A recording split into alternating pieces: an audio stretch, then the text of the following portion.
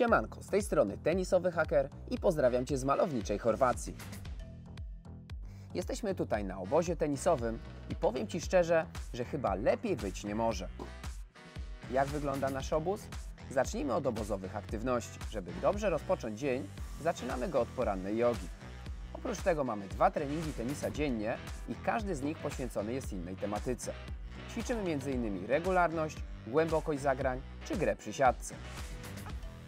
A na koniec dnia, aby rozluźnić mięśnie przed kolejnym dniem wysiłku, mamy sesję stretchingu i rolowania. Mieszkamy też nad samą wodą, więc dla chętnych dostępna jest cała masa sportów wodnych takich jak supy, kajaki czy rowerki wodne.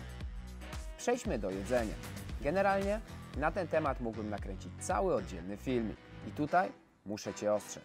Jedzenie tutaj jest tak pyszne i zróżnicowane, że jeżeli Twoim celem jest zgubienie kilku kilogramów, to pomimo dużej ilości aktywności na obozie może się to nie udać. Treningi i jedzenie to ważny punkt programu, ale przecież nie po to jedzie się w tak piękne miejsce, żeby tylko ćwiczyć i jeść. Dlatego podczas wyjazdu zaplanowaliśmy kilka wycieczek, takich jak m.in. rejs na oglądanie delfinów, czy półdniową wycieczkę do Rowin i kanału Limskiego. Co więcej, dookoła jest cała masa pięknych i klimatycznych miejscowości, które w wolnym czasie można zwiedzać. Jak to na Tennis Camps, podczas obozu w Chorwacji nie zabrakło wideoanalizy, którą zrobiliśmy w wyjątkowych okolicznościach.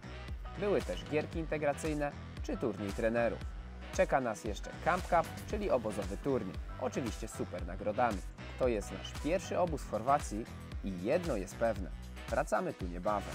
Jeżeli chcesz dowiedzieć się o kolejnym terminie wyjazdu, to kliknij link w opisie lub wbijaj na tenniscamps.pl łamane na Chorwacja i dowiedz się więcej. Tyle na dziś. Do zobaczenia na obozie. Siemanko!